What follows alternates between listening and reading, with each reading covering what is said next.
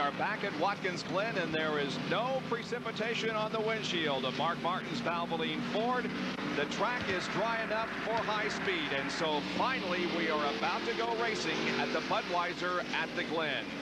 It's been about a three and a half hour or even more than that really rain delay here as the Havoline crew waits on Davey Allison to take the green flag. Then he'll be coming in and getting the relief help from Dorsey Schroeder.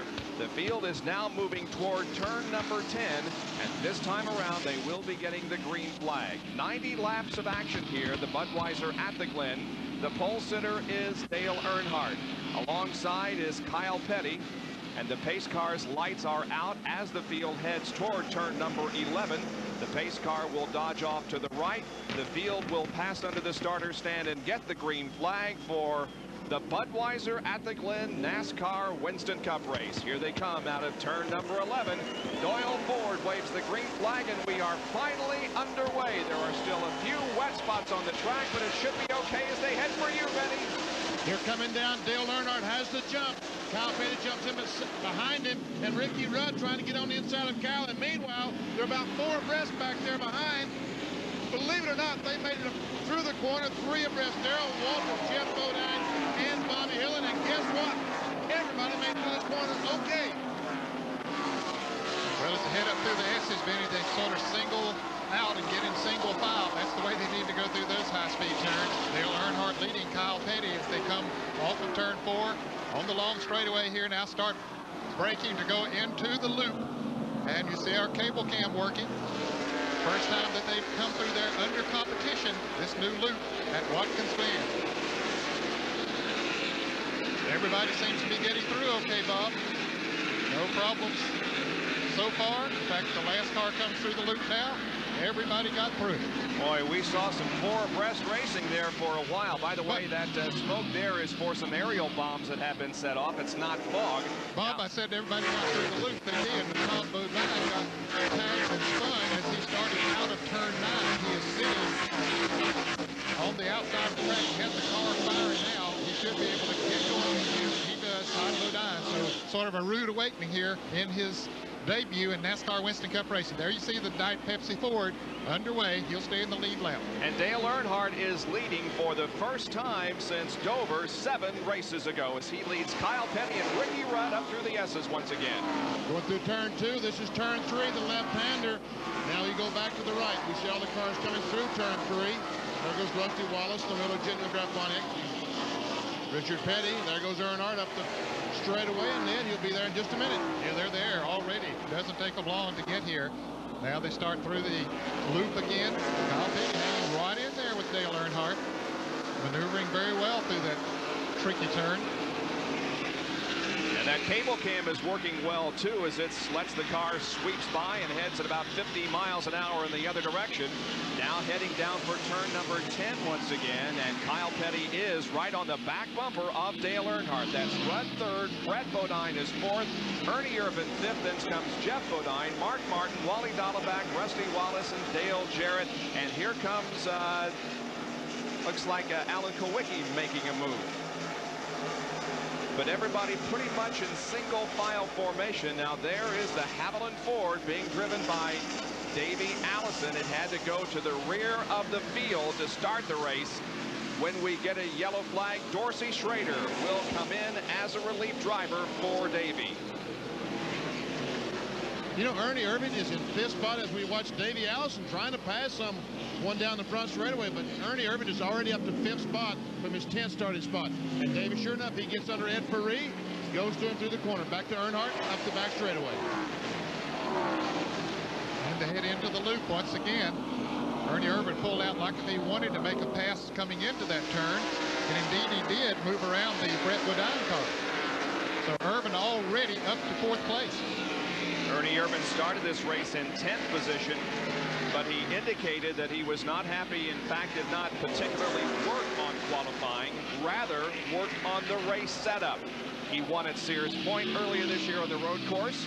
He was the defending champion here. He won the Busch Grand National race at this facility earlier this year. So Ernie Irvan certainly has to be rated as one of the favorites coming into this event. There's the cave cam located at track level at turn number 10 as the field flashes by.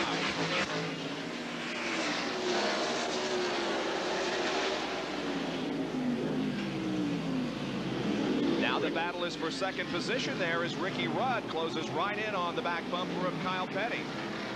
There's Mark Martin on the inside trying to get by some cars.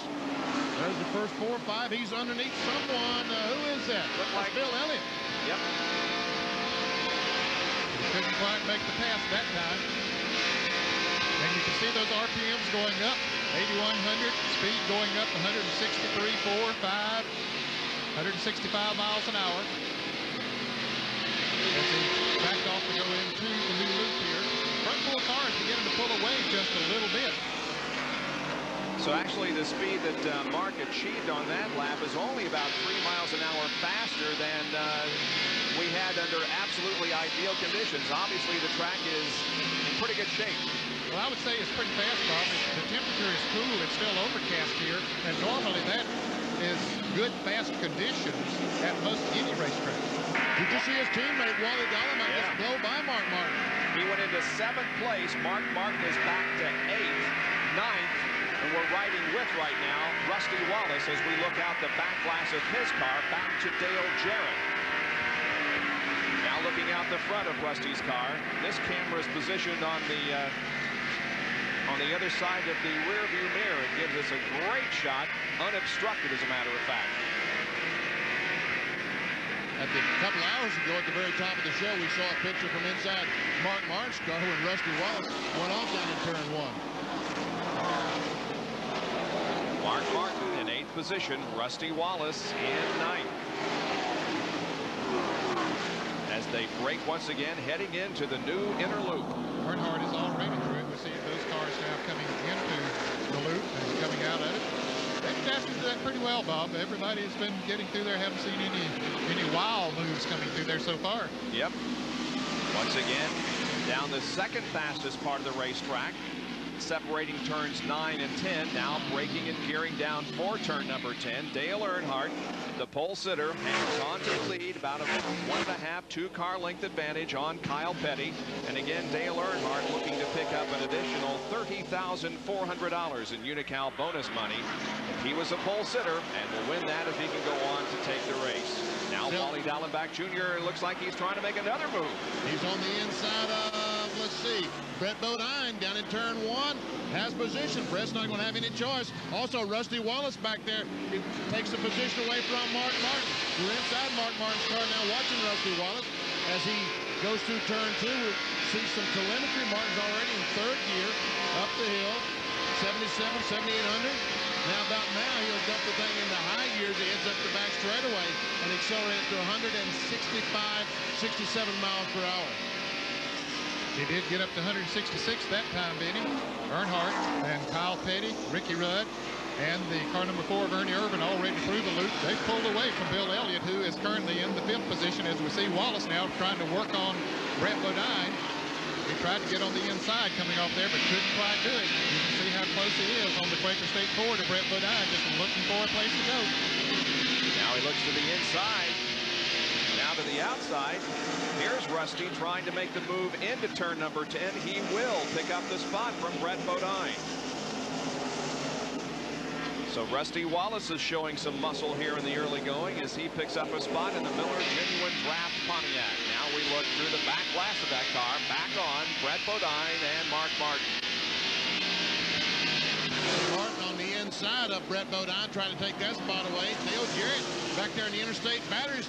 He's on the inside and ooh, Brett almost lost the car as he was trying to make his line and all of a sudden Dale Jarrett was there in the way. He had to get on the brake so hard that three or four cars passed him. Besides uh, Dale Jarrett, we also saw Darrell Waltrip move up a spot. Here's the leaders once again in the inner loop. That's Earnhardt and Kyle Petty. Boy, Kyle is staying right with Earnhardt, Bob, in every corner. He's just dogging him.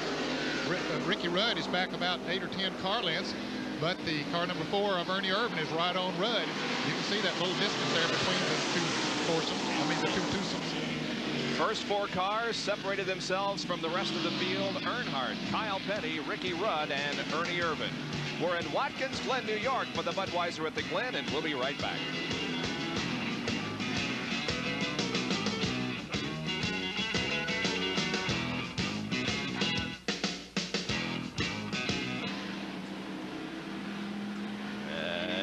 Get him.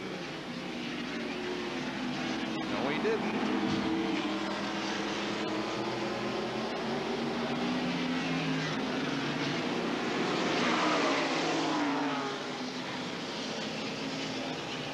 ESPN Speed World at the Budweiser NASCAR Winston Cup race delayed by several hours because of rain. We are now underway with Dale Earnhardt, the pole sitter, leading Kyle Petty, who started outside the front row. Ernie Irvan has taken a position away from Ricky Rudd and now runs third as they once again go through the inner loop. And those four cars have tightened up a little bit. Ernie Irvan about ready to get up there and make some pressure, but I'll tell you, Earnhardt has had all the pressure he wants from Kyle Petty. Kyle really showing a lot of savvy here. We haven't known him being that much of a road racer, but we heard him say that his crew chief, Robin Pemberton, came over from a team that has had success on road races with Mark Martin, and so he knew a lot about setting the car up. As a matter of fact, Kyle Petty's best finish on a road course was way way back in 1987 at Riverside when he finished in third. And oh, look at the action as Ernie Irvan has to get hard onto the brakes. Well, we've got some great action here as they head for one again. Here they come. Ernie's going to go on the inside of Kyle Petty, trying to take that spot away. He may have him. He does have him. Ernie Irvan is already up in the second spot. Now he sets his sight on Dale Earnhardt. And there they go through turn two, up the hill. Gotta, be, gotta be impressed with Irvan's move so far. Started 10th, already up to second. I tell you, in practice yesterday morning, they didn't get their normal Saturday afternoon practice because of rain here. But in practice yesterday morning, he was absolutely flying in that car. They really had it dialed in, and that's obvious here today. Here they are now coming out of the loop into what is now turn nine. We'll see where Irvan tries to make a pass. He'll try him before too long. You can bet your bottom dollar. They open it up a little bit here on this straightaway. Ricky Rudd has dropped back to fourth position and now begins to trail Kyle Petty by a few car lengths. We'll see what happens as they come off of corner number 11 and onto the main straightaway. That's where Ernie Irvan made his move last time going into turn number one. And let's see what happens this lap. Kyle Petty's already trying to look on the inside of Ernie Irvan. Gets a good run. Are they three abreast? That's what it looks like on the camera. Something's got to give. Can Ernie get up there? Let's see. He's there. Two abreast. They go through the corner. They come off the corner. They make a little bit of contact. But meanwhile, Ernie has to fall behind Earnhardt. Wow, some really close action. They did make contact as they came off that corner, but Earnhardt held his line. Well, fellas, it looks like that maybe Earnhardt is holding Irvan up a little bit, and to me, it looks like Bill Elliott and Wally Dallenbach back there are beginning to gain a little bit on those two, on those four cars. Yeah, we see him in the picture there. Elliott and Wally Dallenbach both trailing, but not by very much. There they are. They're locked in a two-car duel. Both of them are trying to catch up to the front four. Looks like that Elliott has a little bit of damage on the right side of his car. But nevertheless, he and Dallenbach are setting their sights on the front four. Here comes Dallenbach now, trying to take fifth from Bill Elliott. Can he outbreak him? Nope, not this time. Meanwhile, up front, it's still a great battle as Ernie Irvan tries everything to take that position and the lead away from Dale Earnhardt. He'll try it again under braking at the end of the straightaway. One more time, they come in the corner side by side. Ernie, this time, he takes the spot away. Earnhardt falls in behind Ernie Irvan, who has started 10th and has taken the lead in 10 laps. That's one car per lap. Irvan is the new leader at the Budweiser at the Glen, our second leader of the day. Dale Earnhardt took the lead at the drop of the green flag, and now it is Ernie Irvan up front. Now we'll see if he is doing something that the others might learn from. He ran and won that Busch race here, and maybe he learned a little something that the others can uh, learn from. You can see the cars going through. Darrell Waltrip, Brett Bodine, Morgan Shepherd, Alan Kulwicki, Richard Petty. Terry Labonte and Ken Schrader concentrate on King Richard Petty, who is in his final race here at Watkins Glen. He's running back in 15th spot. Well, he started 18th, Bob, so he's moved up a few positions. So he's doing right well I there.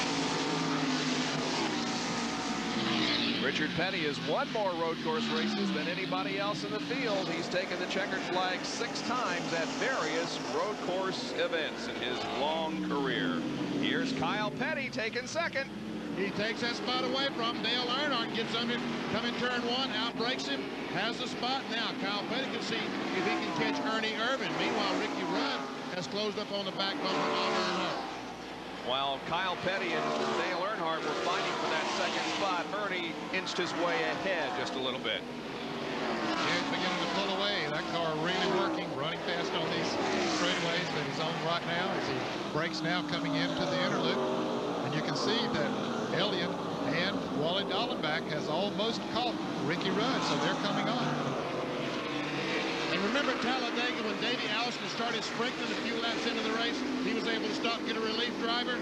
It started sprinkling in turn one just about a couple of seconds ago, so that might be the break that Davey Allison's looking for. Well, that's something we don't need is more rain. We've seen enough of that today, and we had hoped that maybe we could go the rest of the afternoon without any more rain, but Benny reports some light sprinkles as once again we jump inside Mark Martin's car and watch the telemetry on the Ford as he gets it down to about 79 miles an hour turn number 11 before accelerating off of there and headed, heading down the main straightaway. He's coming straight towards me, up to 141, 43 now, heavy on the brakes. He's going to downshift the first gear to get through this corner. He was in practice already first gear, and we can see just a couple of raindrops on the windshield. Yep, we sure can. We can see the raindrops on the windshield of Mark Martin's car. Not very hard, certainly nothing to uh, create a caution at this point, but we'll keep our eye on it as Ernie Irvan continues to lead, Kyle Petty second. And there is Mark Martin running in seventh. We see Ernie Irvan coming up on Hut Stricklin. Hut apparently made a pit stop early in the race, or either had some trouble somewhere on the course, but he's about to go a lap down. He made a pit stop, man. He changed right side tires on the green flag. John Kernan, what did he, what did he change? Well, Benny, they didn't change tires. What happened was the transmission got stuck in fourth gear, so they had to jack the car up, put it on jack go underneath, and physically shake the linkage to get it unstuck out of fourth gear, and he should be running okay. And Benny, you're talking about raindrops down in turn one. I'm a little bit up from you on pit road. We're feeling some intermittent drops right now. Wally Dallenbach Jr. pulls down to the inside here on the main straightaway to try to pick up another spot. There's our leader, Ernie Irvan. He has put a lap on Hut Stricklin. That 12 car is now a lap down. Kyle Petty is the second place car, and Dorsey Schroeder is uh, standing along pit road saying, come on, rain. I need a yellow so I can get in that car and relieve Davey Allison. Not many times you'll see smiles on crew members' faces when it's starting It to rain. starts to rain, that's for sure. so Irvan is your leader, and Kyle Petty runs in second position. The top five, Earnhardt, Rudd, and Elliott, as we have completed 13 of the 90 laps at Watkins Glen, New York.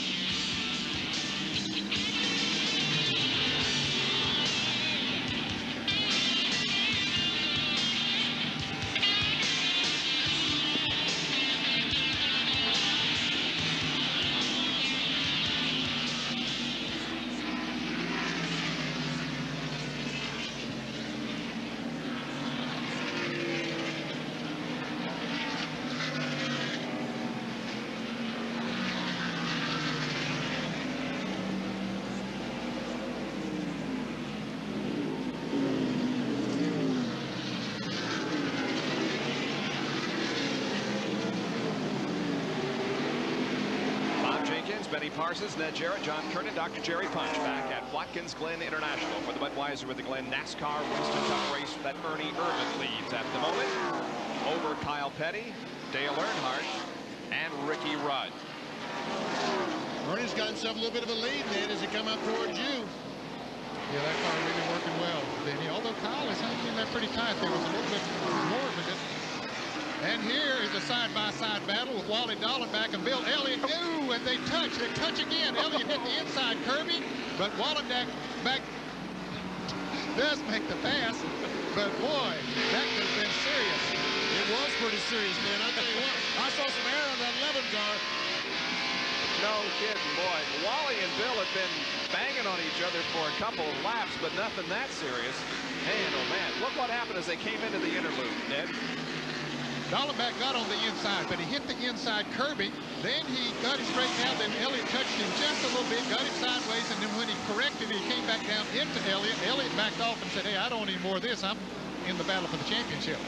But you know what? Dallenbach picked up the spot. He's now in fifth, and uh, Bill Elliott back to sixth position as Bill Elliott now tries to go inside of Bill Elliott. Mark Martin gets on the inside, and they go through the corner. Side by side, they touch as they come off the corner. Meanwhile, Mark still trying to get the position.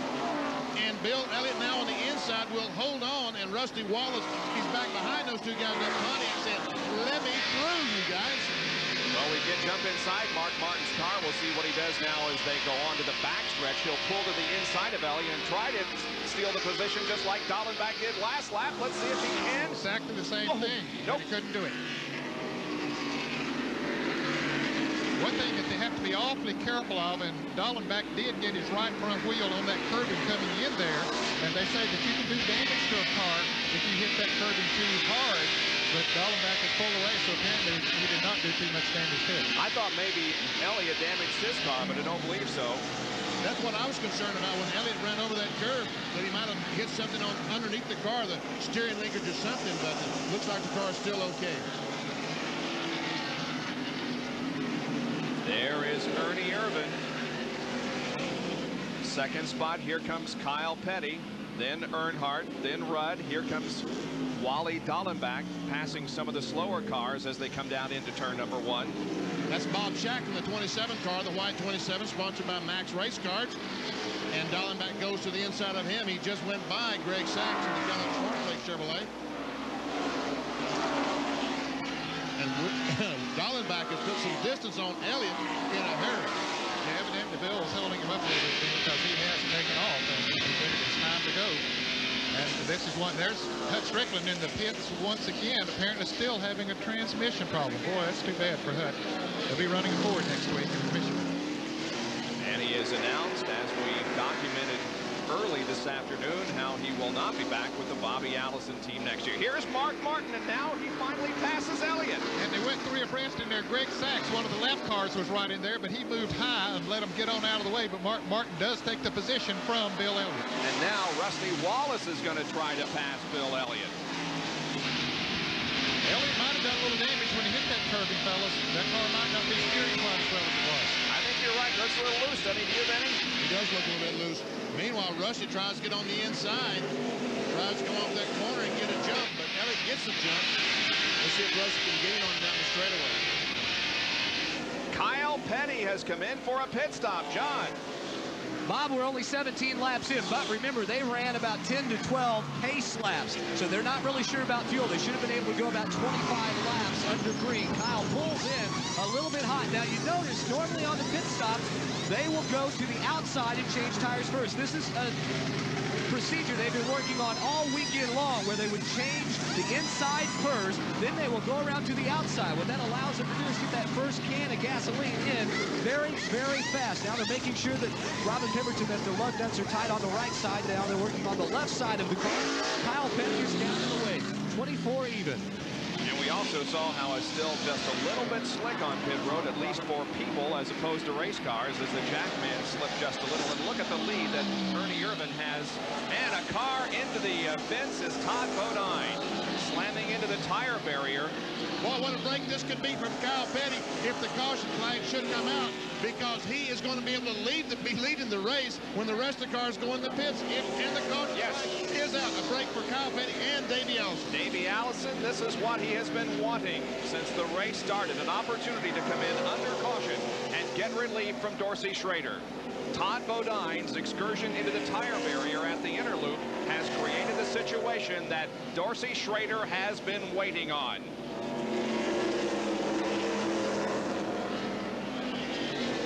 Okay, I'm going to get to drive now.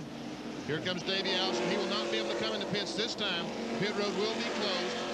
That's because the pace car has not picked up the field, but it will. And when the car comes in for the pit stop, we'll be right there for you to show Dorsey Schroeder relieving Davey Allison.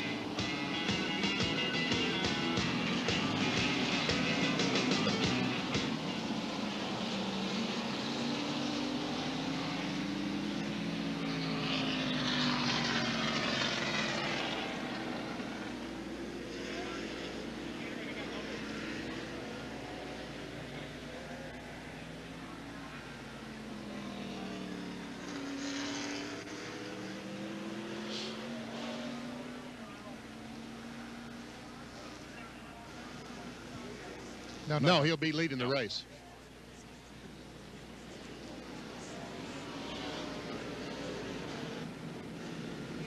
That happened at the inner loop, didn't it, Ned? Bodine's little- No, turn No, 10. no, Was it 10? Okay. Right, right by the compounds where you hit. All right.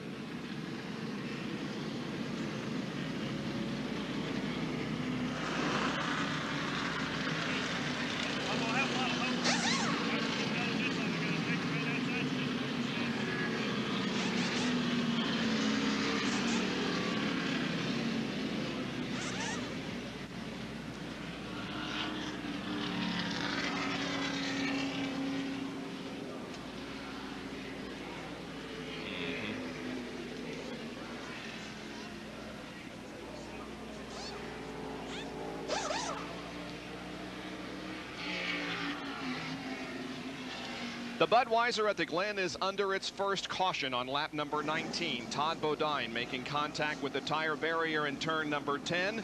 That has created the yellow, which was a big break for Kyle Petty because he was just making a pit stop. And it also creates the situation that Davey Allison has been waiting on. There is Todd Bodine. He is out of the car. Obviously okay, but with a badly damaged race car. Davey Allison will be coming in for relief. Jerry? And Bob, the discussion was whether they should stay out and possibly pick up the five bonus points for leading a lap, take advantage of the caution flag in more ways than one, or come down pit road and change drivers. They made a decision to come down pit road. It's basically wholesale pit stops as Dale Earnhardt, Ernie Irvan, Darrell Waltrip, and now Davey Allison makes his way down pit road. Remember, the speed is 35 miles per hour. You look, they look to be very slow, but because the pits are very narrow here, they want to make sure to maintain a safety margin. He's already unbuckled the seat belts. He pulls the car in. Crew now going to work. Right side tires, one can of fuel going in. Davey is trying to very carefully get the steering wheel off. He slides out down the driver's window. Davey is out. He comes around to this side of the car, and Dorsey Schroeder goes in. Have a crew member there. They have finished the right side tire change. Now they will jack up the left side of the car. Very, very smoothly things going on here in the Havoline pits. And what a break for Team Havoline here at Robert Yates Racing. Dorsey Schroeder getting hooked up. He had a radio already hooked up to his helmet, so that didn't have to happen when he got in the car. Just a matter of getting the belts on. And remember, Dorsey Schroeder the same size as far as the seat configuration is concerned with Davey Allison. They make a slight chassis adjustment to tighten the car up a little bit. Dorsey getting hooked up, the window net going up. Meanwhile, the rest of the pit road has been cleaned out as it had a four-tire change. They are very, very happy here in the Havoline pits. Possibly a chance to salvage a Winston Cup win today, or certainly a lot of points, and maybe another shot at keeping that Winston Cup championship hopes alive. The car is refired. Dorsey Schroeder getting everything hooked up. They confirmed they can hear him on the radio. He is now talking back to the crew on the two-way radio. The window net is up, and he will be down and away here momentarily. So a tremendous break here in the pits, gentlemen, for Davey Allison's crew, and now Dorsey Schroeder aboard the car.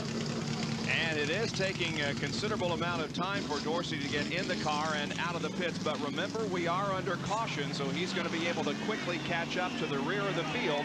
And when we go green, we will be watching Dorsey Schroeder move up through the field. Davey Allison's race is done. Dorsey Schroeder is now in the Havoline Ford.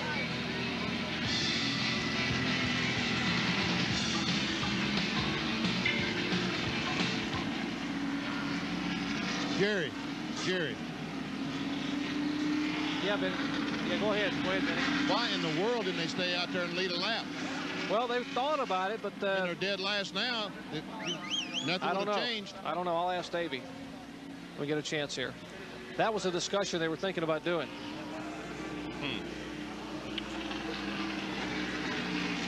Yes, sir. Yes, sir. but then it, it just looked like it might go green pretty quick. so we decided, Didn't want to take any chances. Okay. Would have been nice, but that they want to miss, not have fun.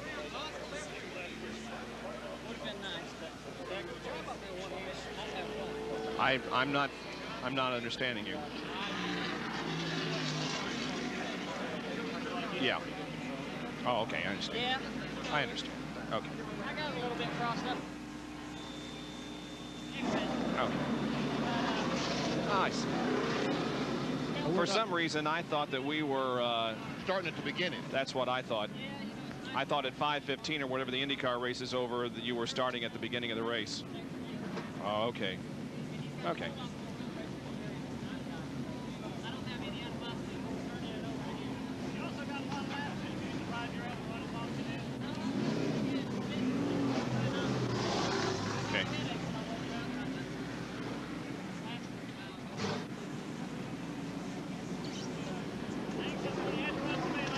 Yeah, he is.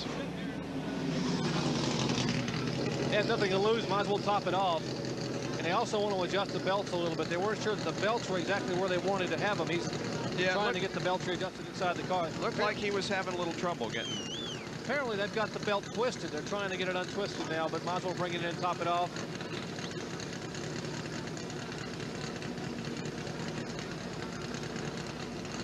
That's what it was. He had them crossed. Mm-hmm.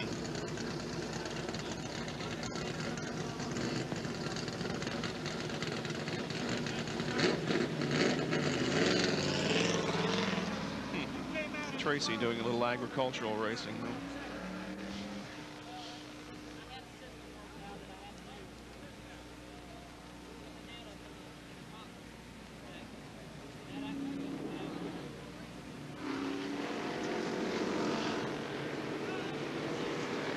what time are they coming to us uh, live, you know? Okay. Okay.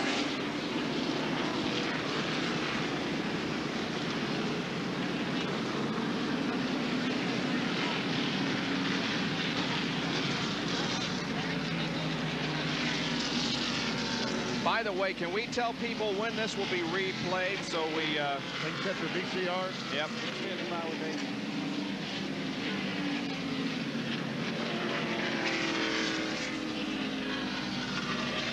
Okay, thank you.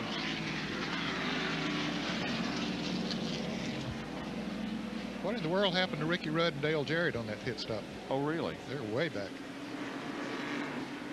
Larry, tell him if he tries to break real deep like he Yeah, they probably were the two that, that actually came down pit road at 35 miles an hour. Yeah, they might have changed all four tires too.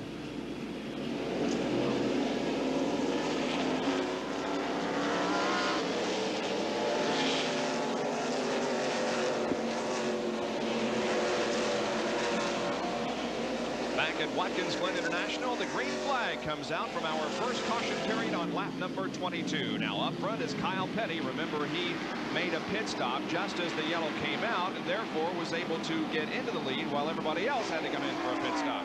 I'll tell you what, there's a lot of shenanigans going on down through turn one, but believe it or not, they all made it one more time. I don't know how many times these guys can go through your side by side and keep on making it, Ned. But look how quickly they get in single file as they hit up through the S's. Kyle Petty already now ready to start braking coming into the new loop here at the Watkins Glen International Raceway. With everybody coming in there single file. It looks like they're all going to make it okay. Rusty Wallace back there trying to move around Brett Bodine. That caution flag, a huge, huge break for Kyle Petty because he had made a pit stop just a lap before. He was able to stay on the racetrack and assume the lead. Although he just didn't assume the lead, he's been running well all afternoon. A battle for eighth position as Rusty Wallace and Brett Bodine are wheel to wheel through corner number 10. Now in 11, Brett pulls slightly ahead. Let's see if Rusty will make a move as they come down the main straightaway. Battle for eighth position as we once again see Ernie Irvan flex his muscles and take second from Dale. He's on the inside of Earnhardt and takes that second spot away. Accelerates off turn one. Earnhardt tries to come back. And it sounds like we just lost Betty's mic. There is Alan Kulwicki pulling to the inside of Brett Bodine as the field comes through turn number one onto the straightaway between turns one and two. And there is Dorsey Schroeder.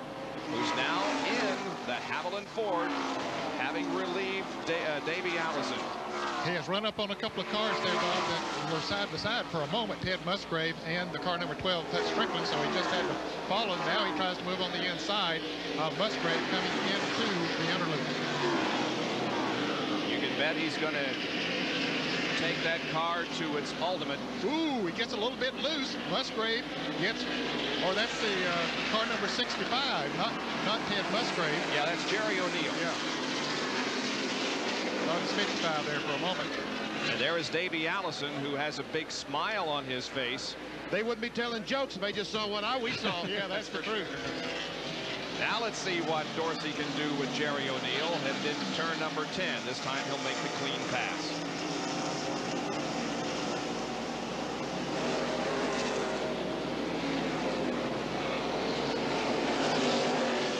Dorsey run over the curb, and is Jerry O'Neill still in front of him? Yeah, I guess he is. He's been having a time with him. See what happens down there, Here, he come down towards turn one. He's going to try one more time to outbrake him. He does outbrake him and take the spot away. Well, Jerry Punch is down in the Havoline Ford pit with Davey. And maybe you got a bit of a break there with the caution flag. Yeah, we did, Jerry. You know, uh, I would like to have stayed out there longer. I was having a little bit of fun, but, uh, you know, it's for the best right now. I need to take care of what, uh, what the problems we got with the arm and the wrist. And we'll be ready to go the full distance next week at Michigan. But, you know, Dorsey Schroeder, he's got a whole lot more experience here at Watkins Glen than I do. And I don't have any trouble turning it over to him. Think about staying out, maybe picking up those five points for leading a lap. We thought about it, but we weren't sure how quick that caution was going to be. We didn't want to take any chances, so we just decided to come on in and get it over with. Davey Allison now a spectator here hoping someone else can carry that car to victory lane. Bob? Uh, It's probably a good idea that they didn't stay out and pick up the five bonus points, but that's how championships are won. They get five points for leading a lap, and King Richard Petty is in trouble, spinning That's in turn 11, just before the start-finish line. just at the entrance to pit road, as a matter of fact, but Richard has it going again and pulls back onto the racetrack. And Ernie Irvan has just about caught Kyle Petty, just a car length or so behind him, and may try to outbreak him as they go up this back straightaway and head towards the inner loop. For the last lap or so, he's been about that distance, Benny. He moves in uh, as they come into the loop a little bit, but then Kyle is able to pull away when you get on the other parts of the racetrack, so Kyle hanging tough out there. Well, Richard just spun again up in turn one. He went down in the corner on the outside of Jerry O'Neill, flew down in the corner, and all of a sudden, I don't think there was any contact, but around he went. So Richard Petty having his troubles here, spinning twice in one lap. Now we see Ernie Irvan right on the back of that mellow yellow Pontiac as Earnhardt runs third, Martin fourth, and Geoff Bodine fifth. Ernie Irvan may be about to make a pass here on the main straightaway as they head into one. It looks like he's going to do it, Benny. Bob, I'll tell you what, he is so strong coming off that turn 11. He gets off that corner on the inside so good, takes the spot away. He's passed just about everyone he wants to on the inside going in turn one. That's probably the best place on the track to to make a pass. And apparently they they adjust to set the car up, the gearing, and everything else to where he can do that. Well, there's Richard Petty spinning down in turn number 11, and we caught that from the camera mounted under the bridge. There was Dale Jarrett right behind Richard Petty, the Interstate Battery car. And Richard goes around. Uh, Sterling Marlin was right behind him and had to take evasive action. Well, here are the leaders in turn nine again. Ernie Irvan holding on to that lead now once he got around Kyle Petty. Be interesting to see if he can pull away as he did before the caution. There's Earnhardt in third, fourth, fifth, sixth is Shepherd, seventh is Rusty Wallace. Then comes Brett Bodine and Wally Dallenbach and Alan Kulwicki and the others. You saw Ricky Rudd there. He's pretty far back. I don't. He had a longer pit stop than a lot of others. He and Dale Jarrett both came out way back, and so did Darrell Waltrip. All three of those drivers uh, had longer pit stops. I don't know if they changed four tires and the others just changed two, or what might have been the case. But but both, all three of those drivers lost a lot of time on that pit stop. We ride with fourth place there for a moment. Mark Martin. he tried to get on the inside of Earnhardt, tried to outbrake him going in turn one. That did not work. He had to fall in behind Earnhardt. Meanwhile, Geoff Bodine right behind Mark Martin in the Motorcraft field. That's looking pretty good. Now we're riding with Mark Martin, who is in fourth position. Just ahead is Dale Earnhardt as they move up through the S's and onto the backstretch once again. Now watch the speed go up to the high 160s. 165 before braking Ned. That's pretty good after they've run this far in the race. Bob was going to go a little bit higher than that early in the race, but he's uh, working on Dale Earnhardt, so he's getting all out of that 40 can right now. Long sweeping corner here in turn number nine. There is Ernie Irvan, the leader of the Budweiser at the Glen, closely pursued by Kyle Petty. We've completed 26 of the 90 laps, and we'll be back right after this.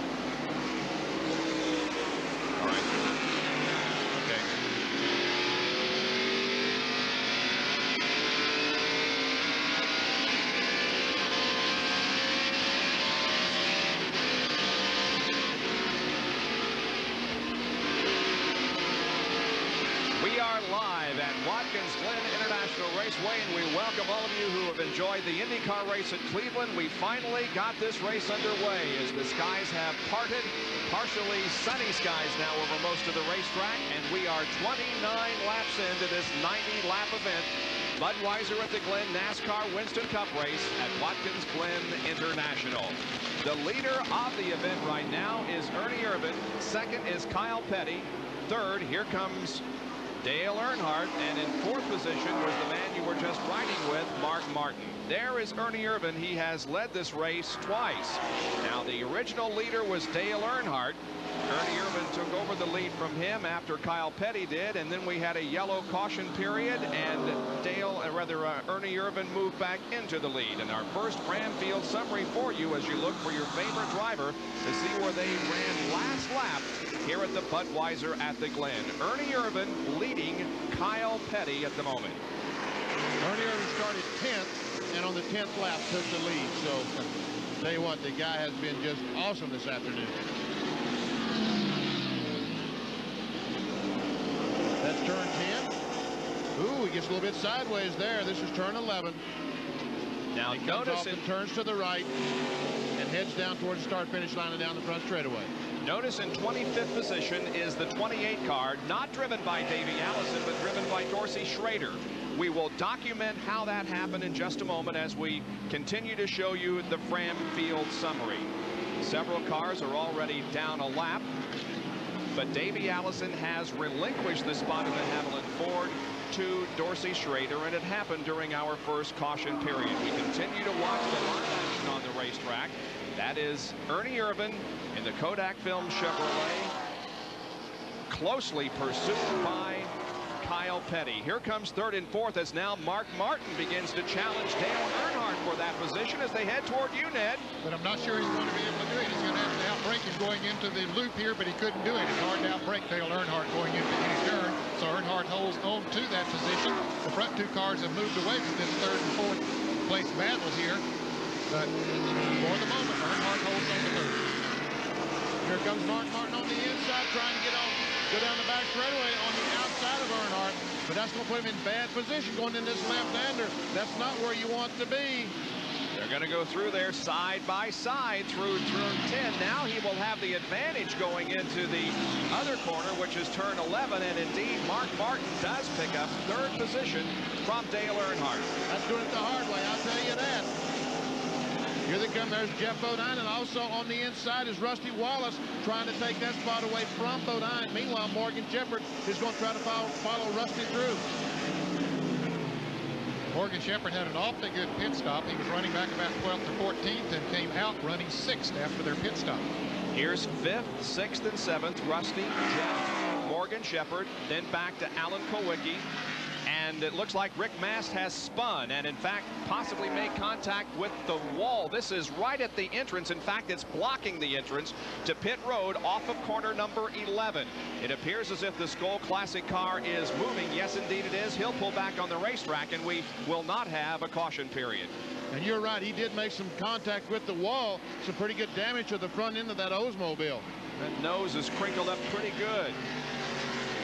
And here it is from our camera mounted on the bridge at the start-finish line. Looks like he just lost it coming out of the corner.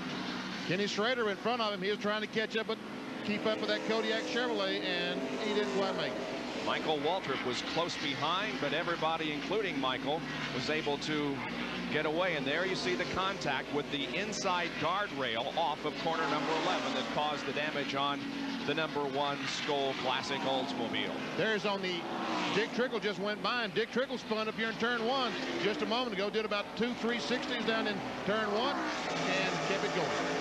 There is Dorsey Schroeder, who is now behind the controls of the Havoline Ford. On lap number 18, we had a caution period when Todd Bodine had contact with the wall in turn 10. He's okay, but that set up the caution period that brought Davey in, and Jerry Punch was there to call the action. Pulls the car in, crew now going to work. Right side tires, one can of fuel going in. Davey is trying to very carefully get the steering wheel off. He slides out down the driver's window. Davey is out. He comes around this side of the car, and Dorsey Schroeder goes in. Now the crew member there, they have finished the right side tire change. Now they will jack up the left side of the car.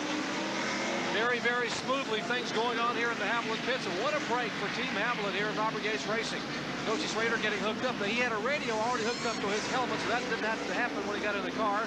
Just a matter of getting the belts on. And remember, Dorsey Schroeder the same size as far as the seat configuration is concerned with Davey Allison. They make a slight chassis adjustment to tighten the car up a little bit. Dorsey getting hooked up, the window net going up. Meanwhile, the rest of the pit road has been cleaned out as it had a four-tire change. They are very, very happy here in the Havoline pits. Possibly a chance to salvage a Winston Cup win today, or certainly a lot of points, and maybe another shot at keeping that Winston Cup championship hopes alive. The car is refired. Dorsey Schroeder getting everything hooked up. They confirmed they can hear him on the radio. He is now talking back to the crew on the two-way radio. The window net is up, and he will be down and away here momentarily. So a tremendous break here in the pits, gentlemen, for Davey Allison's crew, and now Dorsey Schroeder aboard the car.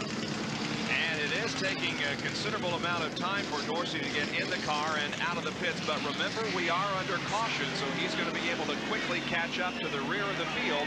And when we go green, we will be watching Dorsey Schroeder move up through the field. Davey Allison's race is done. Dorsey Schroeder is now in the Havoline Ford. That was a few laps ago. Dorsey, of course, did join the rear of the field in 32nd position. At the moment, has moved up to 21st, so he is picking off cars rather steadily. Long ways to go. And these cars he's been passing quite as good as the Earnhardts and the Mark Martins and the Geoff Bodine, Morgan Shepherd. When he gets those guys, it's going to be tough sledding. We saw a few minutes ago the uh, number one car, Rick Mast, spin and have contact with the wall. Let's go to the pits and a report on that from John Kernan. Well, Bob Rick has shut the car off to the Skoal Classic Oldsmobile. Uh, very disappointing thing, the set of circumstances to happen to him. Nobody seems to know what exactly happened to Rick when he made the crash. Now, Michael Waltrip, I understand, has crashed. Yeah, he's made contact with the tire barrier, has bounced off of it. Doesn't look like that he uh, damaged the car very badly. Appears to be trying to get it to go again. The Pennzoil Pontiac now begins to slowly move in reverse. Kyle, uh, Michael Waltrip indeed sliding off the course. Same spot that Todd Bodine got off the course up in turn 10. And meanwhile, I don't know, does he get all the way? Yep. Yep, he does get to the tire barrier with it back in pretty good. Yeah, he hit it pretty hard. Here's another angle as he got off the track and this slick grass sent him hard into the tire barrier. He hit it with the right rear of the race car. Yeah, that grass is wet, Bob, and it is very slick. Once you get under that, you don't have a lot of traction and not a great deal of control. So he heads for pit road. We might also mention that Richard Petty spun a couple of times earlier on the same lap, as a matter of fact. He's been in for a couple of pit stops, but Richard Petty is still in competition, running in 31st position. There is the leader of the race, Ernie Irvan. Second place, Kyle Petty. And we go down to Jerry Punch, who's in the Michael Waltrip pit. The Pennzoil Pontiac crew beginning to work on the car of Michael Waltrip. Some damage to the rear of the machine. The rear pushed directly in. They will change all four tires. As Kyle Petty makes a move now, Ernie Irvan and he gets past him in the loop, so Kyle Petty will make that move and take the position away. Meanwhile, back in the pits here, the Pennzoil crew now have changed left side and now right side tires and will begin to beat some of the sheet metal away. We are told that possibly Michael may have cut a tire, which caused the wheel hop and the spin up in the corner. But in any event, under the green flag, a costly pit stop here for the Pennzoil team. While they work on that car in the pit area, it is Kyle Petty who has taken command of the Budweiser at the Glen, passing Ernie Irvan in the new inner loop. Let's see if what happens here, if Ernie is able to repass Kyle in what has been the favorite passing spot on the track, and that is headed to turn number one. He's been awfully tough coming in here, but this time it doesn't look like he's going to be able to make it. He closes right up on the back bumper of Kyle Petty, but not able to get by. 35, make that 36 of 90 laps have been completed with Petty out front, followed by Irvan, Martin, Earnhardt, and Wallace.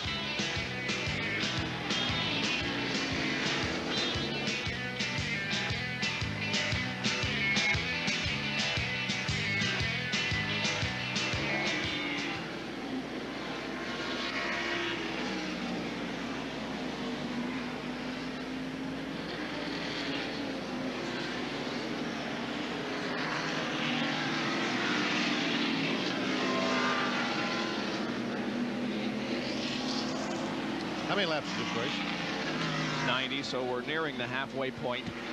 Okay.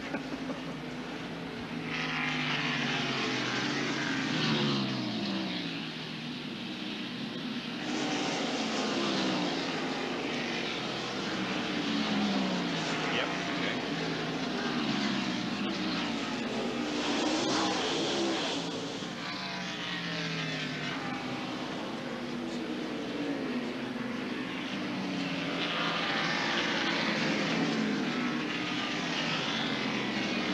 ESPN Speed World presenting Budweiser at the Glen NASCAR Winston Cup race from Watkins Glen International Raceway. At the completion of 37 laps, it is Kyle Petty in car number 42 that is leading Ernie Irvan in car number four. They come up the backstretch off of uh, oh, this car going slowly back there that we saw briefly. Gary Cole, like- Gary Cole started dead in the water on the back straightaway. This could create a yellow if he can't get to a safe spot. This is the new that we talked about very early this afternoon before our rain delays. The new part of Watkins Glen International Raceway. And really, Ned, uh, we discussed there is uh, Derrike Cope's car now stopped completely, and we watch the starter stand right in front of us to see if the yellow is going to uh, come out. John, what do you know about this? Fighting an engine problem, Bob. He was running on only seven cylinders, so initial reports are something gave up in the motor. A tough day for uh, Derrike and Barry Dodson and that Purolator crew. Caution flag is out, Bob. The pace car is ready to move on the racetrack. Oil Ford is waiting for uh, Kyle Petty to come off the 11th corner. There it is, the caution flag for the second time today. And so they're going to have to retrieve Derrike Cope's stalled car from the racetrack. Second caution comes out on lap number 38. 90 laps will make up this NASCAR Winston Cup event. And we'll be back with more in a moment.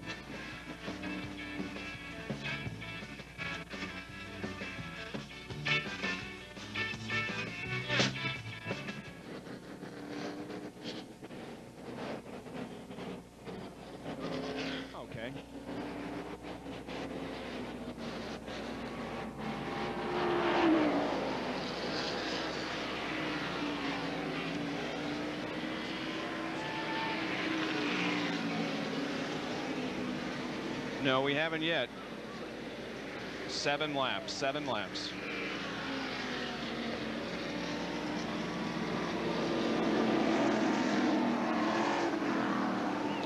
That may uh, change some strategy, you think, here, guys? Yeah, what's he going to do? Yeah. But I think most of them will have to go in for fuel. Mm-hmm. I don't, don't believe they can Maybe take that chance. I don't know. They could, though. Because you can, you can stop, make a pit stop here and not lose a lap. So uh, better stay out there.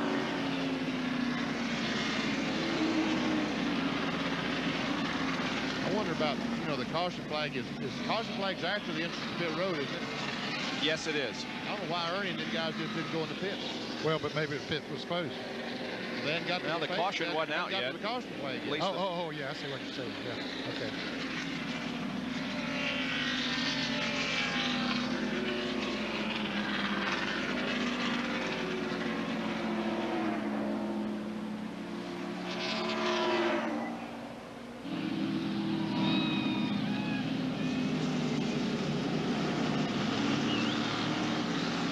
The field is under caution for the second time this afternoon. This because of a stalled car up by turn number three, being driven by Derrike Cope. Let's see what happens here in terms of pit stops. Here comes both, uh, well, most everybody, Jerry.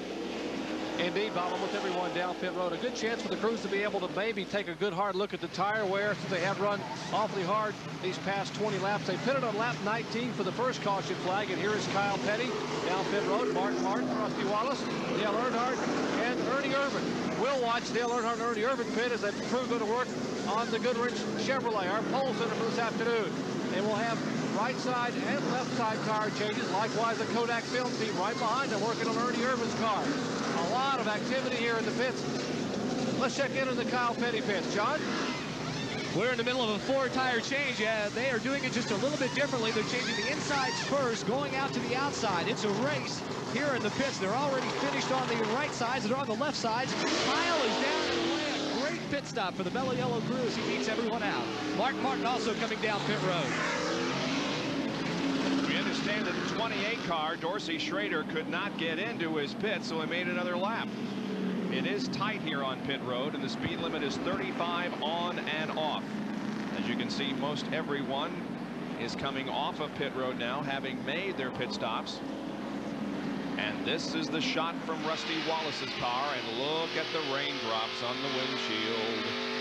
Once again, Oh boy, we're not quite halfway. Nope, we got uh, six more laps to go before we reach the halfway point. Now, watch pit road, and here comes Schroeder in the 28 car. And either he doesn't see it or he just says, I'm sorry, it's too congested, I'm going to make another lap, but he didn't stop. So Schroeder stays out there as the rest of the field has completed their pit stops. And Jerry, why did uh, why didn't Dorsey come in? Well, apparently Dorsey was said he could not see the the sign on pit road, and so that was a miscue as far as being able to see. Not accustomed to all the congestion when he runs a Trans Am or GTO race that you normally have in Winston Cup pit stops. But it could turn out to be a plus for him because They have told them just moments ago on the radio to stay out. They're discussing it right now, and because they are feeling some rain sprinkles here in the pits, they said stay out, stay out, stay out. We're going to try to make a decision here momentarily as to whether we want you to pit or not, but right now, we're going to leave this thing if we can. Well, he isn't at the front of the field. But I believe he's leading the race. Is he? I believe so. I don't know. We'll we'll see. Uh, it's hard to tell who has who has been left and who has not been left. But well, you're right. Most of the cars in front of him were probably lapped cars. So yeah, our early indication is that Schroeder is leading the race and therefore picks up five bonus points. And every one is very, very valuable at this point. Now it appears as if Dorsey will come into the pits. He comes off of corner number 11, and yes, indeed, he does drop to the inside and head toward his pit behind Richard Petty and the others. Jerry's headed toward you. Well, exactly, Bob. It was decision by committee down here in the Havoline pits. At first, they said we need to stay out and possibly pick up those bonus points, but the gamble was just too high. They decided to go ahead at the last minute. They said, we'll call you in, go ahead and make our pit stop. Let's not roll the dice too early here. We may not get rain. It's looking a little brighter back over the east of us here. So the Havoline crew now working on Dorsey Schroeder's car.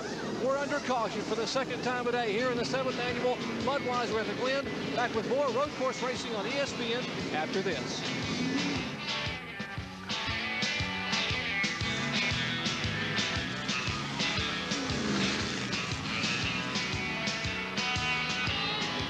lap. Okay. We'll have to make that point. Jerry did, but let's re-emphasize it. Yes. I got it. Yeah.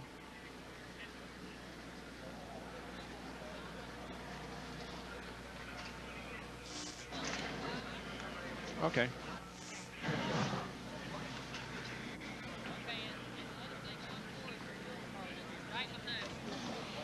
Sudden death.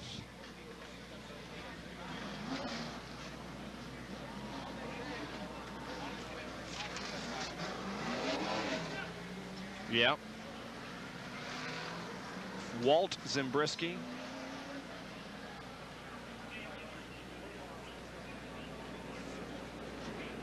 Okay.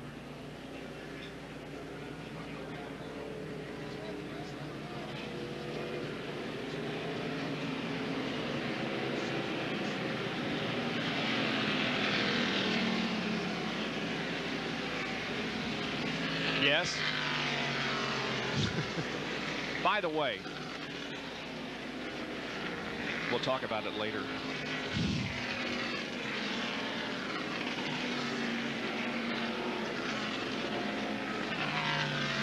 We're back at Watkins Glen for the Budweiser at the Glen NASCAR Winston Cup race. Now it's just about 5:30 Eastern time, and for those of you who tuned in to see the Senior PGA Digital Classic, the final round was rained out.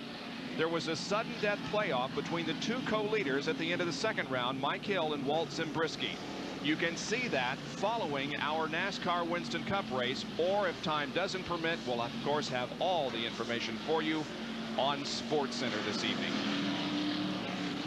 We have completed 40 laps, and we're going to go at least one more lap before we go back to green flag racing. This caution was brought out when Derrike Cope's car stalled up in turn number three.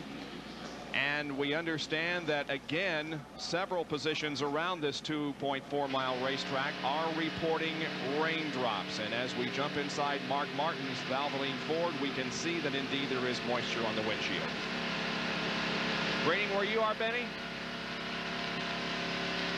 Benny is down in turn number one. Um, and apparently uh, the mic isn't working. Maybe it's a water log. This has been an unusual day in terms of uh, precipitation and weather. Now, this is very important. Look at the Fram Field standings here as we're five laps away from the halfway point. And you know the rules. If we complete halfway and NASCAR determines that uh, we uh, are in a rain situation and cannot finish the rest of the race, it will be called at this point. So these drivers that are running up front here may be in a very good position. Yeah, they could be, Bob. Uh, it's raining a little bit out here in my position right now. Not very hard, certainly not as hard as it did earlier today, but but uh, it wouldn't have to rain much harder to keep a long caution, and then, hey, we'd be in darkness before too long here. Yeah, that's one consideration, of course, a NASCAR will have. Will we be able to complete the full distance uh, before darkness sets in? This is the in-car camera on Jimmy Hensley's machine. The 28 car, according to our NASCAR scoring, uh, driven by Dorsey Schroeder, and of course Davey Allison will pick up all the points, is currently in sixth position. Although he did pit, didn't he, Nick? yeah, yeah, he did pit, Bob, Okay. so he's way back in the field Yep. now, back at the... Uh, He was sixth before he entered the pits, and that uh, that put him back. That's the new inner loop, and Ned, really, there hasn't been a whole lot of action there today. Not really. I talked to a number of the drivers after their practice and their qualifying here and, and what they thought might happen there. Several of them said you're going to see more action there than you ever saw in turn five. But really, we haven't seen. We've seen some passes. We've seen a little bit of bumping between Bill Elliott and Wally Dallenbach coming through there and a couple of other cars, but nothing major. We haven't even seen a spin out through there today. So I don't know if it's they're being extra careful or if they just adjusted to it that way.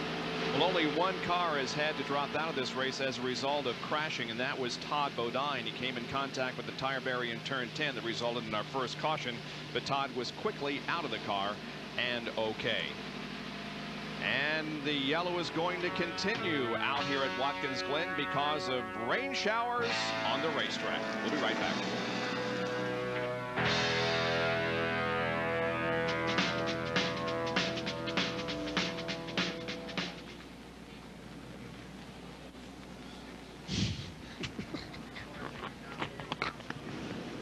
There's some confusion down here as to whether Davey Allison's car, the 28 car, led a lap. They have been told no, they Yeah. did not led a lap, so we maybe ought to clarify that. You're right. I wanted to do that, and I forgot about it. Okay, you, thanks. you, you sort of implied that they didn't lead the lap, and Well, I I wanted to they were, emphasize they were going to stay out and try. Yeah. They didn't stay out, so they, they really, in effect, never led a lap. That's correct. Yep. Okay. Okay.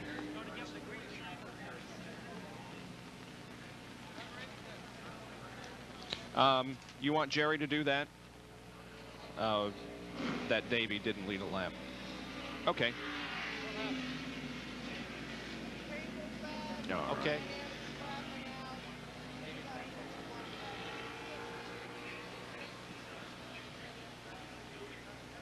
Mm-hmm. And and he he hasn't pitted, right? The eight car. Okay. Okay.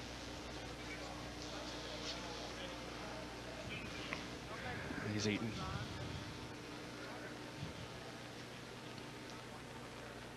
About to go back to green. Yep. The lights are out. Okay. Okay.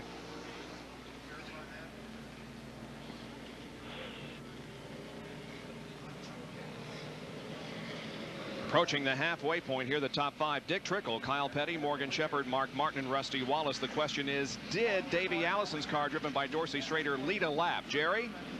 Bob, the, the answer is no. They were going to keep the car out. They decided to go ahead and have him pit. So subsequently, by pitting and not staying out, he did not lead a lap. So they have not yet got those bonus points here in the Havoline pits. One guy who didn't pit and yes will lead a lap, John Kernan is in his pit. John? Talking about Dick Trickle, of course, uh, they were hoping that they're looking at this cloud up here and they're thinking maybe rain and maybe they could stay out and lead it at the halfway point. But now that they're getting ready to go back to green, they're going to have to bring Trickle in. So it could turn out to be a very costly move for that racing team. And guys, I think they're uh, just about set to let him loose. Indeed they are. The lights atop the pace car are no longer flashing. This will complete lap number 43, which means we will only be two more laps from the halfway point and the driver leading at that point, the winner of $10,000. Looks like the Kyle Petty's going to make quick work possibly of Dick Trickle and take the lead here before they get into the first turn. Yeah, Kyle's got the lead already. As they pass the Skoal Classic Oldsmobile that was damaged earlier by Rick Mast. Three abreast through the first corner. That's Morgan Shepherd in the middle. Here comes Kyle Petty storming into the lead. And Morgan Shepherd has moved into second place. Another quick pit stop by the Wood brothers got him out in better position. He was running seventh before that pit stop. There's Mark Martin going around Trickle, and now Rusty Wallace going around as we ride with Mark Martin up through the S's, the high-speed part of the racetrack. Now braking to get into the new loop here. Matt's running pretty good there with that banged up car. He's a lap down, at least a lap down. Yeah, we show him uh, three laps down, actually, in 32nd position. And again, a little bit of moisture on some of the windshields. We were riding with Rusty Wallace there for just a moment. Here comes Mark Martin and Wallace, Irvan, Wally Dallenbach, Alan Kulwicki. That's from about fourth on back. Bob, I think we'll see some aggressive driving because there are still a lot of clouds around, and they want to make up every position they possibly can in case the rain does come. See Rusty Wallace dip out there to try to get on the inside of Mark Martin, but it's not going to work this time. Mark Martin is running in third position.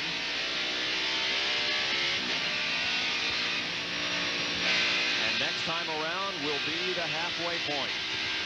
And it will be an official race should we get more precipitation than we're getting right now. Just a light sprinkle in some portions of the racetrack at the moment. Ernie Irvan, he's all over Rusty Wallace, and he's going to pick up that spot, Ned. Yes, he is. He moves right around him. He sees Kyle Petty up there, but he knows the Kyle is too far away for him to try to catch before they get that halfway mark because Kyle Petty has moved away. Fourth, fifth, and sixth there. Ernie Irvan up ahead. Fifth is Rusty Wallace, and sixth is Wally Dallenbach. You smell the dark cloud that, that, that Mark passed under and a little bit of moisture falling from that cloud. There's Morgan Shepherd second, then Martin, Irvan, Wallace, Dallenbach, Kulwicki, Terry Labonte. Here comes the leader off of corner number 11. And cross flags are displayed. The halfway point has been reached, and Kyle Petty picks up $10,000 from the Gillette Halfway Challenge. Kyle Petty is the name you must know if you are called by the Gillette Halfway Challenge people in the next few moments. Because he was the leader at the halfway point and picked up the 10 grand. Well, Bob, it's raining down here in turn one. Where you been, Eaton? I went on lunch break, but I'm back now, and it's raining. Yeah, as a matter of fact, we're beginning to see a little bit of precipitation on the window of the broadcast booth also, which is directly across from the start-finish line. So, we now have reached the halfway point, so now, as Ned indicated a few minutes ago, we may see some real aggressive driving here in the next few moments, unless the track gets real slick. Well, the caution is out in this corner up here, Bob. I don't know if that's Yep, going to be is full overall. Caution, full of course caution. Apparently will be. They'll race hard back to that caution, Bob, because this might be their last chance. This could be the end of the race. You see the yellow flags being displayed by the corner workers, but it is waving also from the starter stand, indicating an overall caution. We're watching the battle for second place. Look at Mark Martin get right up on the, and here comes Ernie Irvan about to take third. He does take third from Mark Martin. Now he's going to try to get second away from Morgan Shepherd. Kyle Petty, meanwhile, is the leader of the race. He comes off of corner number 11 and takes the caution flag. Irvan trying desperately to get second, and he does not. Morgan Shepherd second right now. Ernie Irvan, then Mark Martin and Wally Dallenbach as the cars hammer down for turn one, having taken the caution flag. Did Mark Martin have his hands full trying to get back by Ernie Irvan? Boy, oh boy, what a great shot from inside his car. And it quit raining, Bob. Uh, just the latest medical, I mean, the latest Weather weather, update? update. it quit raining. Well, I don't think it has here on the main straightaway. It's still racing. Here's the replay now. Watch Ernie. He's on the outside of Morgan Shepherd, not the way you want, not where you want to be. But now he needs to get back to the inside, which he does. Makes Mark Martin run over the curb. He said, okay, now I'll try to get Morgan. Says, I'm doing Mark. Hey, I'll tell you what, that's rain up there coming up behind these cars, isn't it? That's yeah. water. Yeah, it was very wet coming off of there. I'll tell you, they did a great job of driving so that we didn't see a big mess there. He really did do a nice job saving that car because he would have tagged the wall a little bit more. There's Kyle Petty leading. You watch the field go by. Now, this is really the same as a field summary, as you can see where your favorite driver is. We lock down the camera here and watch the field go by. There's Dale Jarrett and Harry Gant. And Davey Allison's car driven by Dorsey Schroeder way back there. About 20, I'd say that's about 23rd or somewhere in that neighborhood. Let's get down to John Kernan, who's with Robin Pemberton. Robin, a smoking pit stop on that uh, caution period back there, less than 21 seconds. You guys are doing it just a little bit differently than everyone else. Is that, uh, how did you come out with that idea? Uh, the guys in the shop, they, uh, they've been doing some thinking. I let them do that every now and then, and they've come up with a few different ideas to try. It, uh, we did it in honor of the Olympics. You know, you got the Fosbury flop and all that stuff. You know, I mean, this is a little bit different twist for us. Seems to work pretty well. You know, this is it's hard for crews to come here because you pit in a different way, and uh, it's hard to get acclimated to the situation with only doing two or three stops. So uh, we put a little twist in it. Obviously, it did very well. The car also working very well. Kyle has said that it's not his driving ability out there, it's the car that you put underneath him. But you told me that, well, driver ability and car have a lot to do with it. Now, Kyle's pretty underrated, um, and he doesn't take any credit. Uh, he does an excellent job, and uh, he deserves a lot of the credit. We came up here and tested last week for a couple days, and uh, a lot, lot of driver, motor deal's really good right now. John's done a great job with the engine, so uh, it's just a good thing, you know. As we're waiting for them to come back across to the start-finish line under caution, we look up and see all these dark clouds. Past the halfway point, you all may have pulled something off. Well, we've had a cloud overhead most of the year, so maybe this is one that we welcome, you know. Uh, if we could ever get lucky, this would be the time. We've had a lot of misfortunes this year. We've run real well, and uh, and the last eight or ten weeks have really turned around for us. Hopefully, this uh, this will turn out our way. Maybe, Bob, they've just found one of those dark clouds with a silver lining, possibly. Very, very possibly because the track is very wet. And look, the tarps have also been brought out by the pit crews trying to keep the, their pit areas uh, dry, but the track is wet. Now, this is Mark how it looked from Mark Martin's perspective as he and Ernie Irvan and Morgan Shepherd battle for position. Watch him come off corner 11 and get way sideways. Laying that gas pedal, trying to keep that car straight and trying to beat Ernie Irvan to the line all at the same time. Jerry Punch has a comment on Kyle Petty. I think what makes Kyle's achievement even more amazing today is you got to remember, guys, the first, only the second time in four years he's raced here. 89, he ran a limited schedule, did not run Watkins Glen. In 1990, he raced here. In 91, he was hurt, didn't come to Watkins Glen, so he hasn't been here in two years. And to do what he did this weekend, qualify on the front row and lead this race in uh, rather inclement conditions, I tell you, he's got my vote. In the last five races, Kyle has four top tens and has moved to 11th only 10 points out of the top 10 in NASCAR Winston Cup points. We are under caution, not because of an accident or debris on the racetrack, but Mother Nature has once again opened up and dropped a little bit of rain on Watkins Glen International. Back with more after this.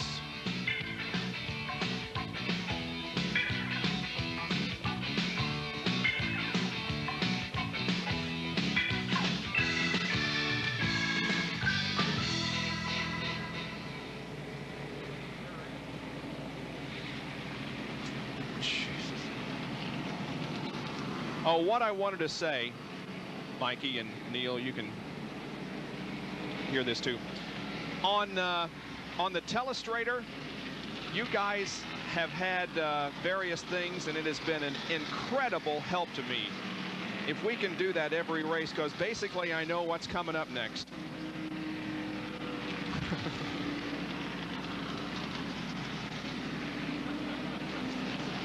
huh? That's right. This has been the best use we've had out of the telestrator in years.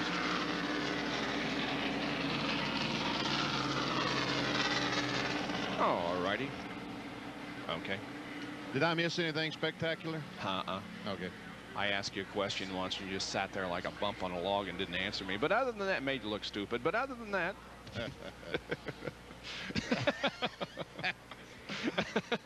Mikey. Mikey, Mikey.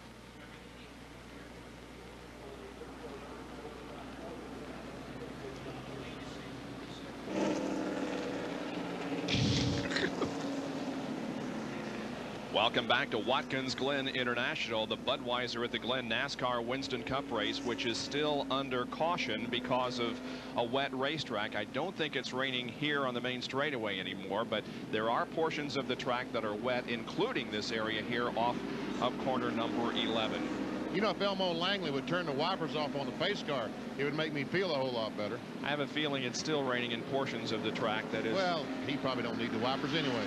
Yeah, that's true. Well, he needs them over in this portion of Does the he? track. fellas. Oh, excuse me. Because it's uh, it's raining not real hard, but but there are raindrops falling over here. Boy, this has been some day, hasn't it? We came on the air at 1 o'clock today, and about 10 minutes before 1, it started to rain. And the crowd stayed here and was very patient.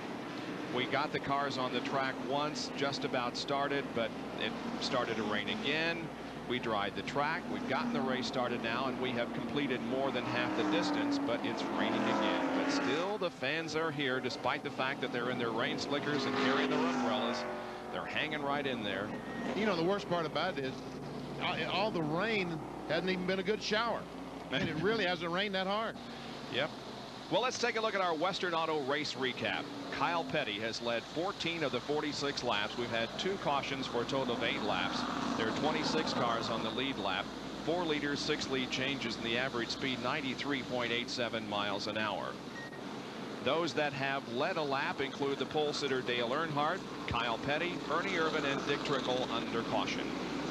Those out of the race, James Hylton, Danny Wilson, Derrike Cope, Todd Bodine crashing, not injured, and Michael Waltrip.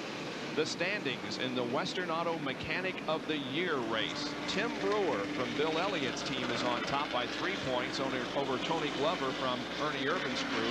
Donnie Richardson is tied with Tony for second. In fourth is Larry McReynolds from the Havoline Ford Davey Allison team.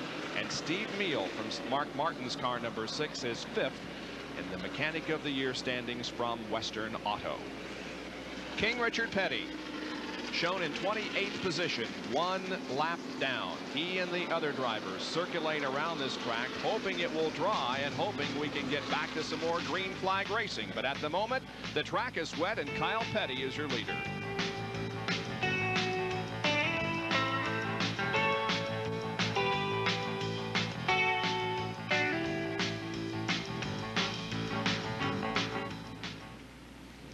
Raining hard out here now. Oh, jeez.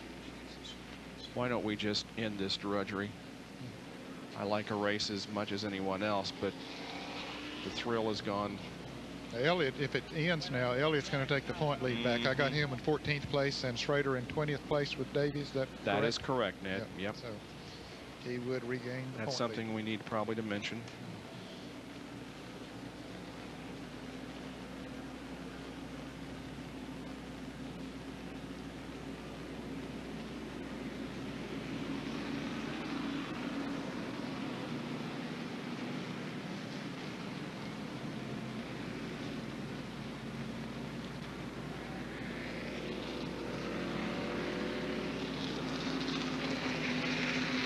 What? Not that again. Whoops. well, that's that is a good point.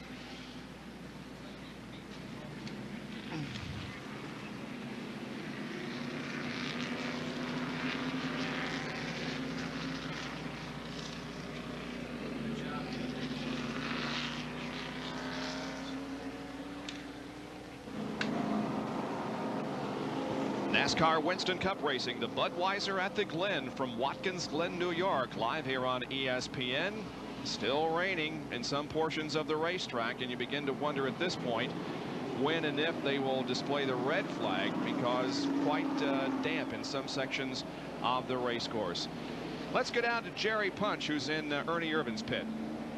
Guys have bit of humor down here. You know, when they when they realized it was starting to rain and the, probably the caution was going to come out the next lap by, Tony Glover, who's the crew chief on Ernie Irvan, knew that Ernie would probably just get wild in that with that steering wheel, which is exactly what he did. He, but he told him, he said, "Hey, calm down, take it easy. There's 30 cars behind you in the lead lap. You get off this race course, we'll finish 34th. I'd rather finish fourth than way back there." Well, Ernie was all over the racetrack, passing people right and left. And when they saw him come out of turn 11, he had passed and made a couple more passes. And Tony said, "Well, you see how well he listens to me." Ernie Irvan third in the lineup as we remain under caution. Now, in terms of Winston Cup points, Ned looks to me like that Bill Elliott, if the race were to end the way the standings are right now, would take back the points lead. Isn't that the way you got to figure? Yes, he would, Bob. I could have him in 14th position at the moment, and Dorsey Schroeder relieving for Davey Allison. I see him in 20th position, so he definitely would take over the point lead. Wouldn't be much of a separation, but again, Elliott will have a slight advantage coming out of this race if the race were to end right now and the standings would stay as they are right now. And it's raining here on the main straightaway now. Yeah, all the fans in this grandstand are heading for cover, so it must be raining down here. I'm uh, high and dry myself, but uh, must be raining. We had a hard shower. It's still raining here, but we had a hard shower while we were away on the commercial break. It has lightened up just a little bit, but still raining. And many of the fans over here are beginning to hunt for shelter as well. All right, let's show you a field summary now from Fram showing you where they are at the moment so that if we do get a red flag in the next few laps you will know where your driver finished. I think I was just mentioning this morning on the way to the racetrack how we have been very lucky at ESPN in terms of rainouts. The last rainout that we had complete washout was in Talladega a year ago last May but this has been one of the longest races and days that I've spent in quite a few months or years.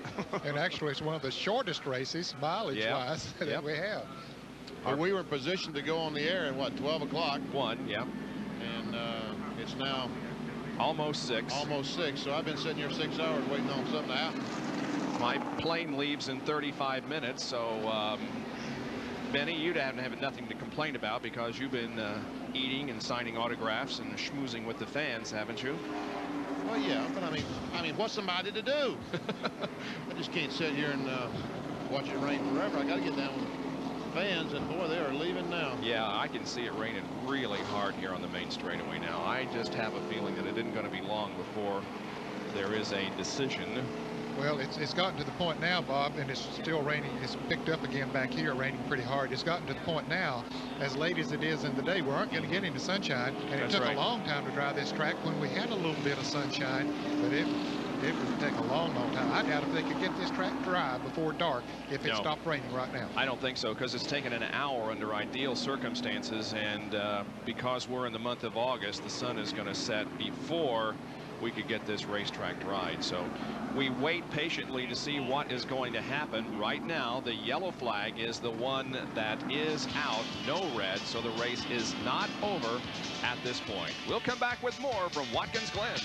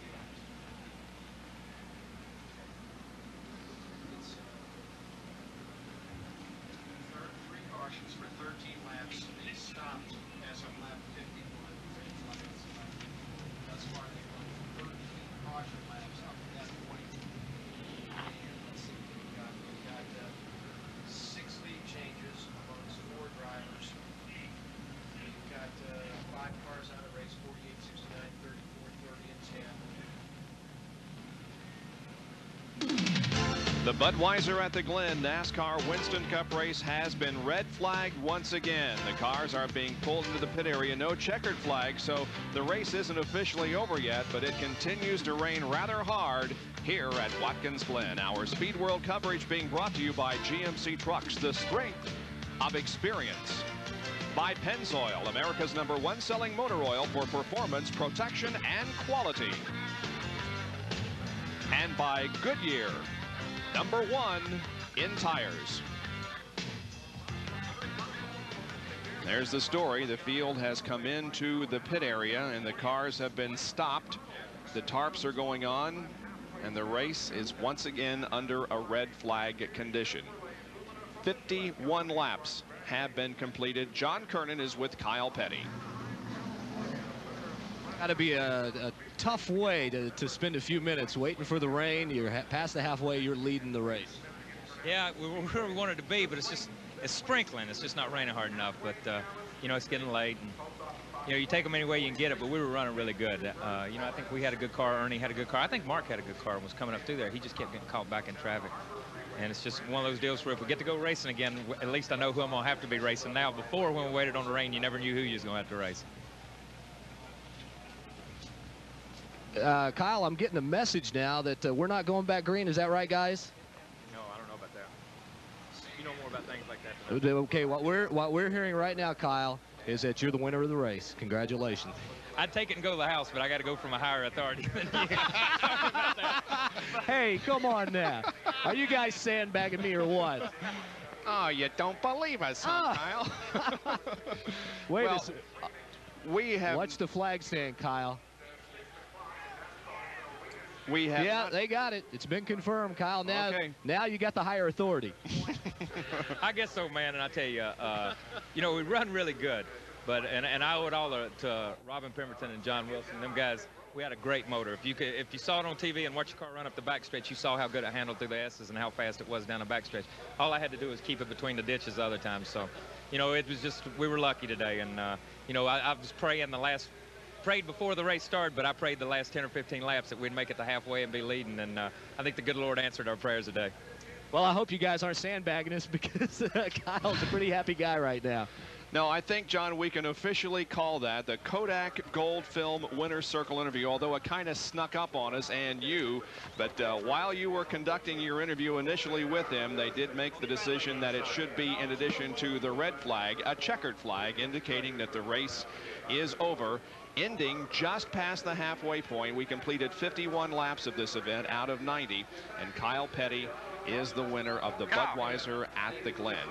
There were six uh, guys coming into this race who had not won in 92 that had in 91. Kyle was one of them. Our congratulations to Greg McConnell from Anaheim, California, who won a Chevrolet Lumina Z34 today in the Gillette Halfway Challenge. Now to enter next week's for the race at Michigan International, we must have your entry by next Saturday, and you must be 18 years of age or older to enter. Write to the Gillette Halfway Challenge, Post Office Box 2246, St. Petersburg, Florida, 33731, and you will be eligible for that Gillette Halfway Challenge next week at Michigan. Jerry Punches with Ernie Irvan. And moments ago, Felix Sabates came by to congratulate Ernie on that outstanding move. Ernie, you were, uh, it was raining, and yet you just kept coming. Well, you know, I was catching a, Morgan was holding up Mark.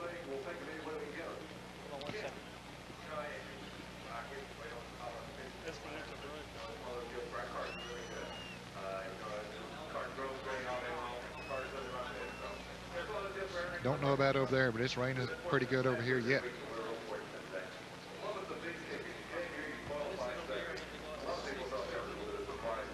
Nope. There was never a checkered flag displayed, and uh, Doyle Ford remains in the starter stand.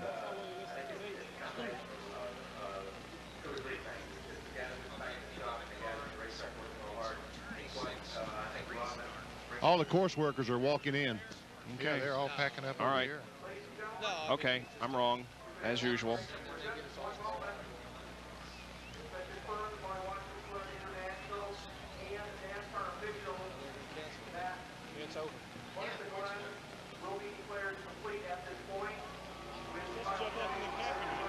Okay. Gotcha. Yeah, that's a good idea.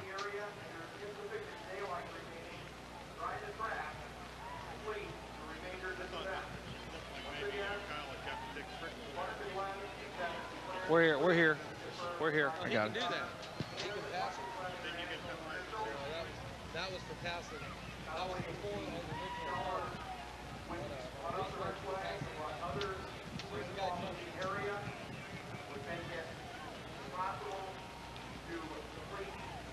Right. Coming back up.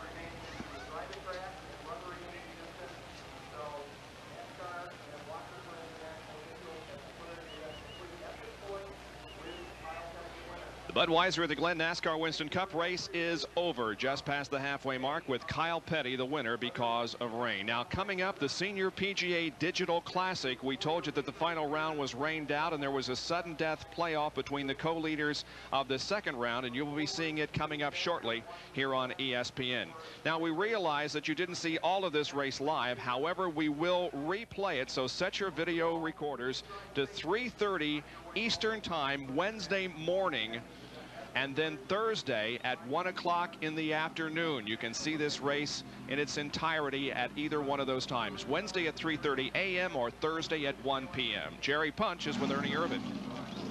And, and, Bob, moments ago, Felix Sabates, the car winner for Kyle Petty, came by to congratulate Ernie Irvan, and now Kyle Petty comes by to congratulate Ernie on an outstanding effort as they congratulate each other. And Ernie, you knew the rain was coming, the caution was coming out, and you made some unbelievable moves. Well, you know, um, it's really more accident than anything. Uh, Morgan Shepherd only got right left side tires, and he was holding us up pretty bad. And Mark went flying in underneath them and or behind him, and I didn't know they were slowing up so fast. So I just it was a, as a evasive move more than anything. And uh, luckily we didn't all wreck right then. But you know, uh, congratulations, Kyle. You know, it's not given to him. It's one. He did one heck of a job and uh, had a fast race car today. Ernie Irvan finishes in third spot, and the man who finished in second, got to be smiling. He's with John Kernan. Indeed, Morgan Shepherd, a big smile, as big a smile as Morgan allows himself to have. Now, Morgan, you kind of snuck up on everybody. You say it was the pit work. Can you tell us about the pit stops? Well, I didn't really sneak up on them, you know. Uh, these Woods boys just made it easy for me. They got me in and out of the pits. You know, we've been being a little bit behind, behind this year in a couple of areas, and a couple of them was uh, chassis on the racetracks. I've been missing it some and been off a little bit in the pits. But I'm telling you, if I can get the chassis working the way these Woods boys was making the gains in the pits, they just made it easy for me today. And I'd like to say hi to Fran. Hope you're getting well, darling, and get back to see some races. Uh, see you, Larry. That's Morgan Shepherd. And by the way, that last pit stop, not two tires. Morgan took on four tires. Robin Pemberton has been named the mechanic of the race from Western Auto. So congratulations to Robin. Kyle Petty, the winner here at Watkins Glen.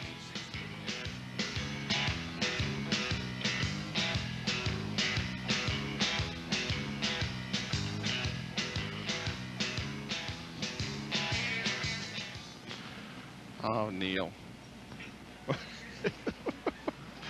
what is going on? okay.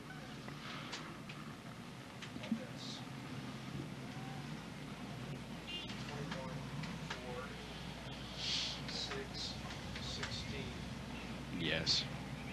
Yes. Oh, okay. Points, all right.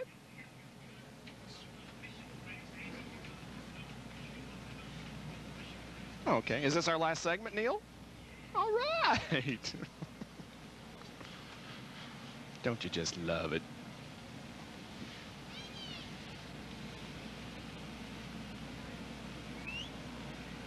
Jack, Jack, I need to give you the corrected points.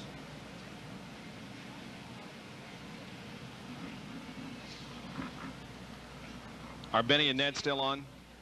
I am. Yeah. Okay. All right. We'll do some jiving here while we watch the full field rundown. Okay, buddy. You still getting wet, Ned? Uh, it, it's still raining a little bit.